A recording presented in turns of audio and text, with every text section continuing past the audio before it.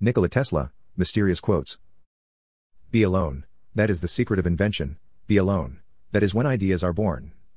The gift of mental power comes from God, divine being, and if we concentrate our minds on that truth, we become in tune with this great power.